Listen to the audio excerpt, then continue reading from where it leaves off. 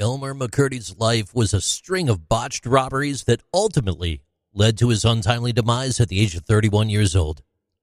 He and his associates had planned to rob a Katy train carrying thousands, but ended up robbing a passenger train instead and making off with a measly $46. This mistake would prove fatal for McCurdy. Elmer McCurdy was killed by the police. His body was reportedly initially taken to a funeral home, but was later claimed by a group of men who claimed to be his brothers. These men were actually part of a traveling carnival, and they decided to embalm and mummify McCurdy's body in order to use it as an attraction in their sideshow.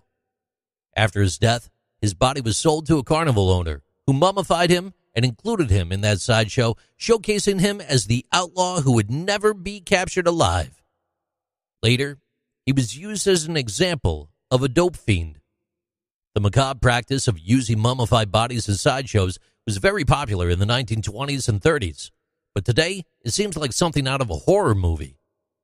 The mummified body of McCurdy was left to rot in a warehouse until 1968, when it was sold to the Hollywood Wax Museum along with other wax figures. Over time, people forgot that McCurdy's body was a real corpse, and they assumed it was just another wax prop. The body was later sold to an amusement park in California, where it became part of a funhouse exhibit. In a bizarre turn of events, McCurdy's body was discovered in 1976 by the production crew of The Six Million Dollar Man while filming at the amusement park. One of the crew members accidentally broke off McCurdy's arm, which was now covered in wax and paint.